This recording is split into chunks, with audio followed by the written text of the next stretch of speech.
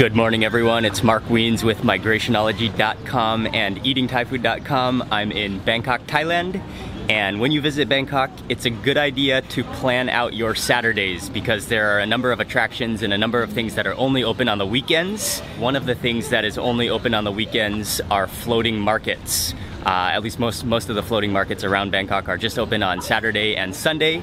And so it is a bright, sunny Saturday morning, and Ying and I are heading to a floating market this morning, first thing. From our hotel, we just walked over to Phra Athit Pier on the Chao Phraya River. We are gonna catch the Chao Phraya Express boat down to Sapan Taksin. And then from there, we will take the BTS to, I think we'll go to Bang Wa, which is the end station, and then from there we'll have to take a taxi.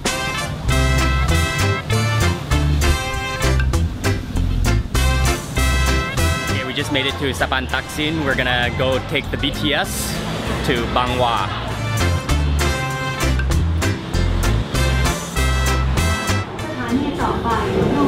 And now we are crossing over the river that we just took the boat on. Okay, we jumped in a taxi and we are on our way to Talat Nam Klong Lat Mayom, which is a floating market within Bangkok. I haven't been there in a couple of years, but it's um, it's kind of a Thai touristy floating market, and so lots of people come on the weekends to hang out and to leisurely stroll around and eat. And I think that took about 15 minutes in the taxi and cost just 80 baht and that journey to get to this market uh, really built up my appetite. I am pretty hungry, so I think we might sit down to eat something first.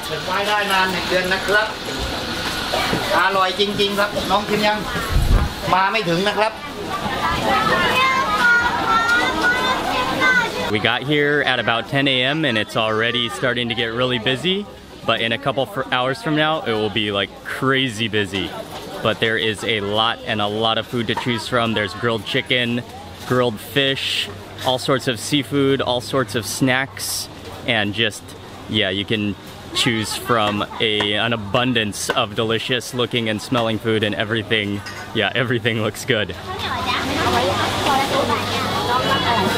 I think we are gonna start with a grilled fish, which in Thai is called pa pao. And this is just a massive huge grilled fish store at the market, stall at the market. It almost looks like a, like a pizza store, but the Thai version with grilled fish.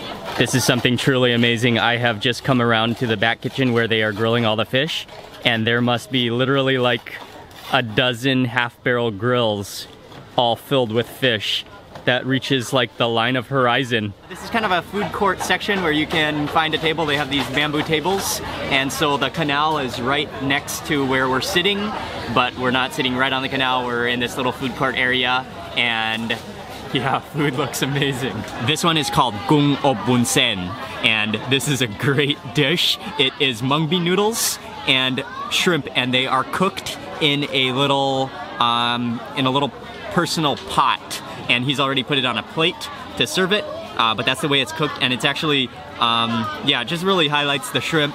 And then usually there's some black pepper, and I can actually really smell the ginger and maybe some sesame oil in here. That's what I can really smell that. And then it's served with this beautiful looking, chunky, garlicky, chili green sauce. Um, I'm gonna start with this just because it is starting to get, when it gets cold, it starts to get like, like clumpy. So let me add a little bit of that Oh, this sauce looks fantastic. Put some of that sauce on, and let me start with the, the noodles.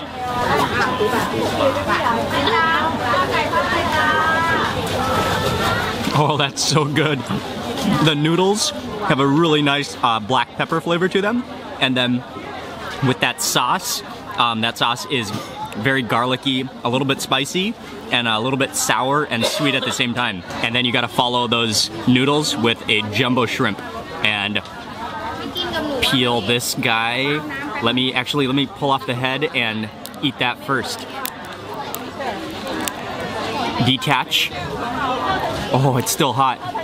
Okay, I'm gonna eat the contents of the head first, and you can already see that kind of buttery stuff. Oh, look at that. All that buttery goodness. Okay, I'm gonna eat this.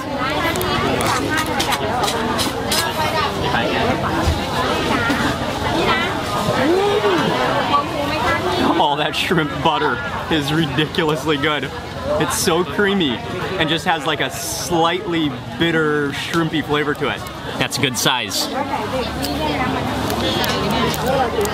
And then I'm gonna dunk him into the sauce. Oh, and I got a I got a noodle attached, and I might need my chopsticks to to help here. There we go. Oh yes.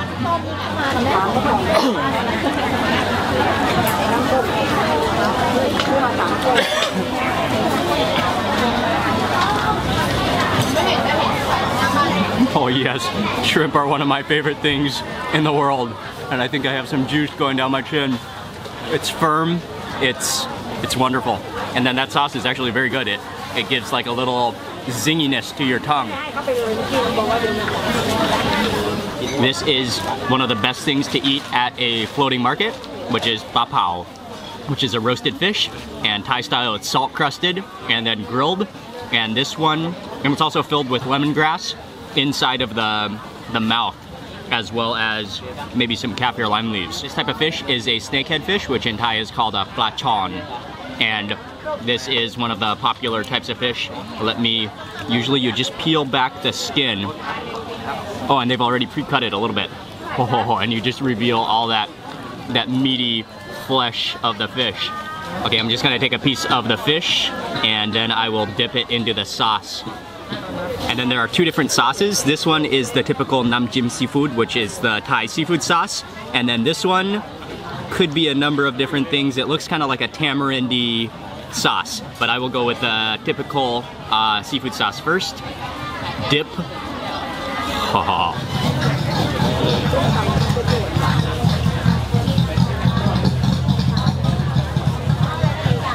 I could eat papao every day.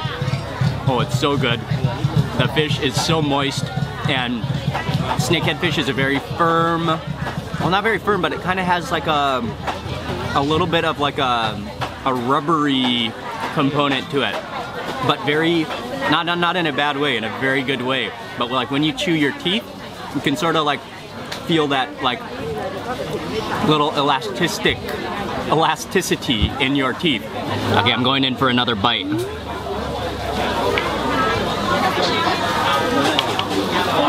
Oh, that might be a bony bite. So I better take from up here. Okay.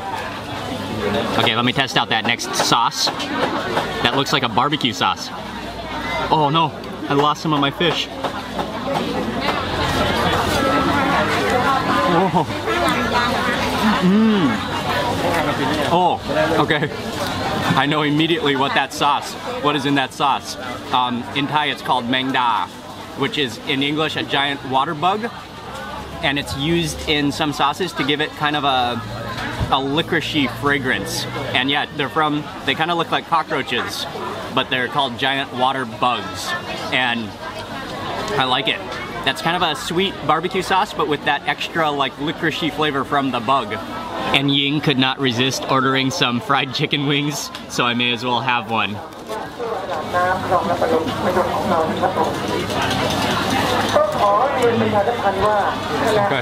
That is pretty tasty. It's nice and salty.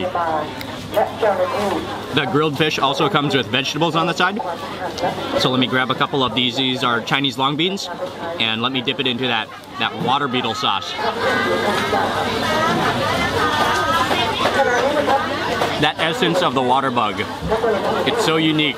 I love it. The body of that fish has disappeared way too fast and all that's left is his ugly snakehead head and and his um, like outer skin and salt crust.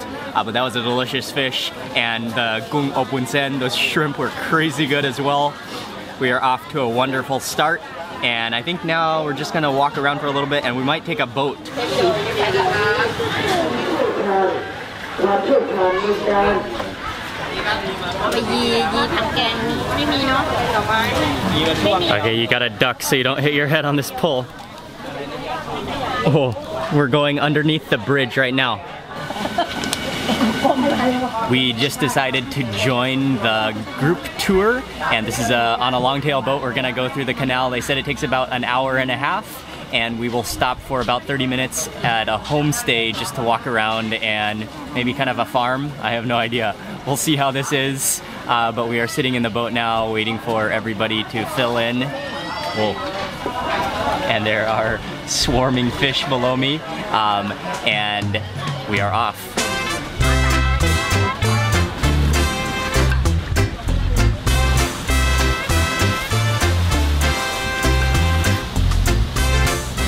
Really good to be in the boat. There's a nice cool breeze and we are just passing through the canal and there are houses on some sides. We're passing under a bridge now and then there are lots of trees and vegetation. Uh, feels like we are far removed from Bangkok here.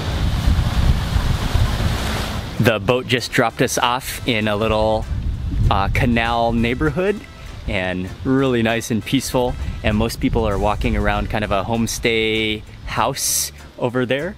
And I'm gonna go walk around now, but also just taking a look at this canal. Yeah, it would be great to relax and live in a neighborhood like this.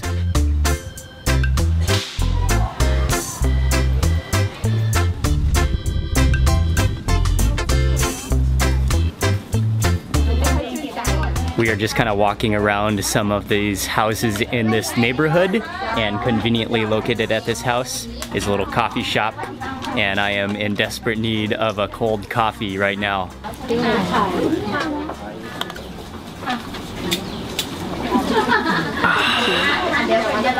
Oh, that's refreshing. We are still walking through the forest on some little paths and we're supposed to be finding the boat somewhere. Oh, here's a Here's a little sign right behind me. And we're trying to find the boat. But it's really beautiful back here, really nice and relaxing. Yeah, I could I could definitely live in a place like this in the countryside on the outskirts of Bangkok.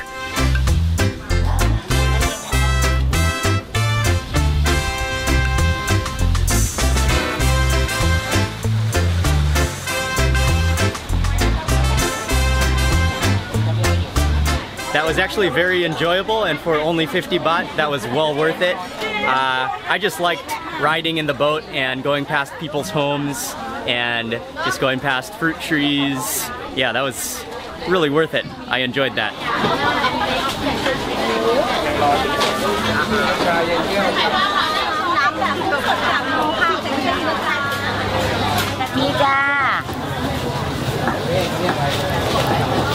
We were just walking through the market and saw a stall selling a type of grilled chicken called gai gale. And this is uh, from southern Thailand. It's grilled chicken with a coconut barbecue sauce. This type of grilled chicken is actually not easy to find in Bangkok, but it's very popular in the south. So whenever we see it in Bangkok, we gotta go for it.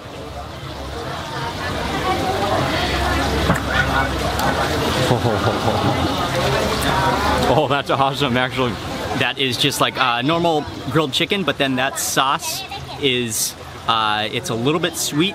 It has a coconut milk richness to it. And then you can taste those red chilies in there as well. It's really good.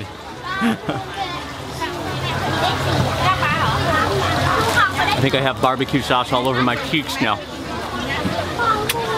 Mm. That's good. This is a type of variety of pineapple that is really small, only about the size of a, kind of like a pool ball. And yeah, they're really juicy and really sweet and they are from the north of Thailand. And so what they do is they kind of like swirl cut them to get out all of those pineapple eyes and then they just cut them into wedges so you can eat them with the stem so you have a little handle like a little drumstick and then you can just kind of eat the whole thing in one bite.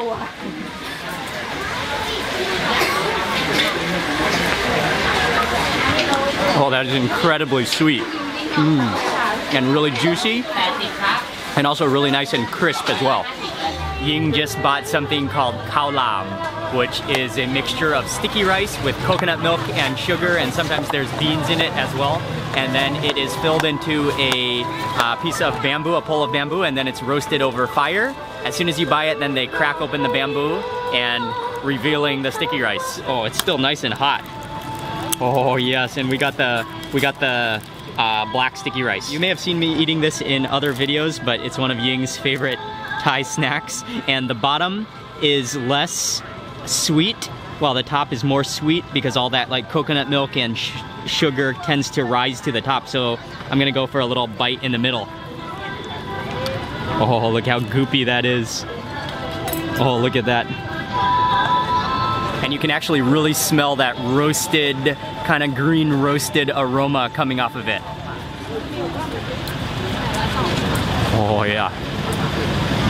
That's pretty good. It's really sticky, almost like goopy. And then you can taste that rich coconut milk.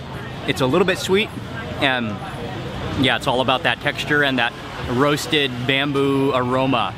We just finished at the market and I think that is probably one of my favorite floating markets in, in the Bangkok area, Talat Nam Klong Lat Mayom. Uh, has a good mixture of everything and it really is a food lover's paradise, so if you love to eat, that is a great uh, trip to make when you come to Bangkok. And I also actually was pleasantly surprised at that boat trip tour. It was a good break in between eating. So we just jumped in a taxi. We are gonna head back to our hotel now and probably take a rest this afternoon. We made it back to Banglampu and riding the taxi. We just took, decided to take a taxi all the way back here and that was well worth it. It only took like 20 minutes and I think it was 120 baht uh, so depending on where you're staying in Bangkok, it might be worth it just to take a taxi directly to Klong Lat Mayom floating market instead of doing the boat and BTS combination like we did to get there. We spent a couple of hours back at the hotel and now we are walking out.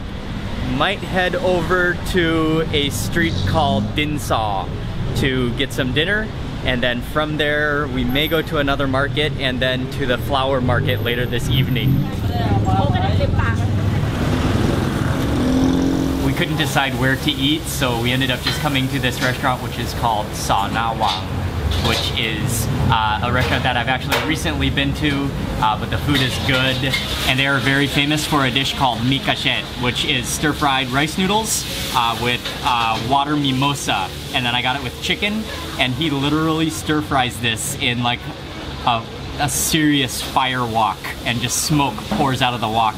And you can see it has like some crunchy noodles, that mix of like crunchy noodles and soft noodles, the vegetable, the chicken, yeah, this is a, a really stunning dish. And I actually, I'm gonna add some of the pla to it.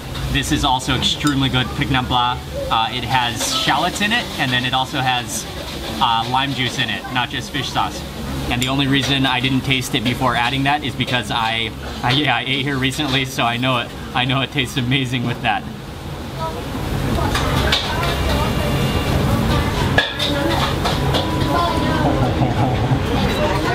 That's just crazy good.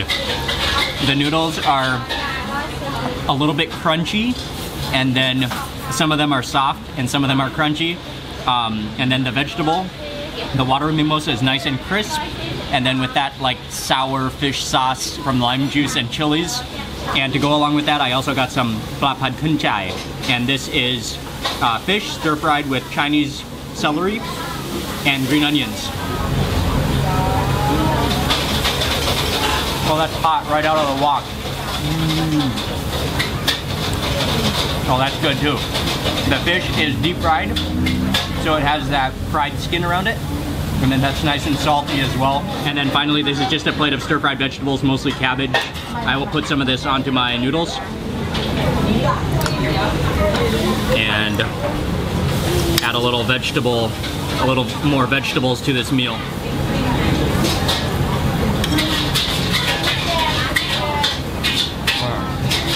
Gonna need some more of this sauce though. This is award winning.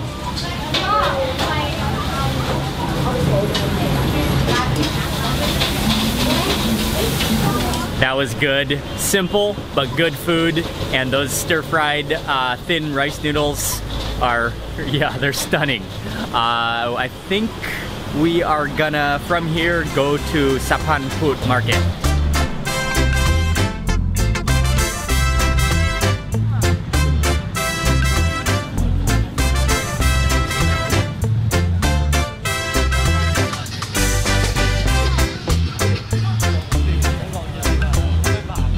This market gets its name from the bridge, uh, which is uh, an old green, I think it's Iron Bridge, uh, but every night there is a market here, maybe except for Monday nights.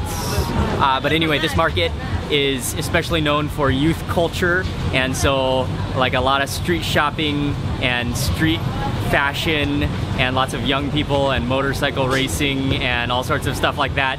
Uh, you can come out here and walk around, uh, but just be careful around here as well. And I think from here we're gonna head over to Pak Klong Talat, which is the flower market. So there's not a whole lot to do at Sapan Put uh, unless you're looking for the latest in youth fashion. Uh, but right across the street is the flower market called Pak Klong Talat. And so that's where we are gonna head now. It's only about 10 p.m. and the flower market is busiest at about like 12 midnight to to about 2 a.m. or so, or throughout the night. Uh, but we're gonna go check it out now and see see the flowers. Underneath these tents, I can just smell the sweet aroma of all sorts of different flowers. And there's just, yeah, there's just a sea, an abundance of roses and marigolds and a lot of flowers. I have no idea what they are, but an abundance of flowers. And then we'll probably walk through here and then across the street there's a big uh, like more covered market area this is just kind of on the sidewalk this is Bangkok's biggest flower distribution market and many people that sell flowers around Bangkok they will come to this market at night or very, very early in the morning and get their supply of flowers and then go back to their parts of town to sell them. It's at 10 p.m. right now and it's pretty busy and lots and lots of flowers, but if you come, the peak time is around midnight to throughout the night. And so you gotta come at night, but a really cool place to see when you are in Bangkok. I think we are pretty tired, so we are gonna head home from here. So I'm gonna end the vlog for today here. Uh, but thank you all very much for watching today's vlog.